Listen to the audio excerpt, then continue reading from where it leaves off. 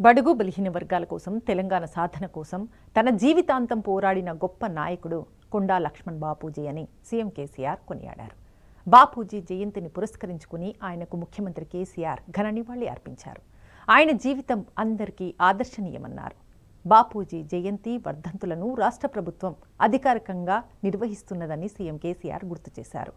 రాష్ట్ర ఉద్యానవన విశ్వవిద్యాలయానికి ఆయన పేరు పెట్టి గౌరవించుకున్నామని అన్నారు. బాపూజీ ఆశయాలకు రాష్ట్ర ప్రభుత్వం కార్యరూపమిస్తోందని ముఖ్యమంత్రి కేసీఆర్ తెలిపారు.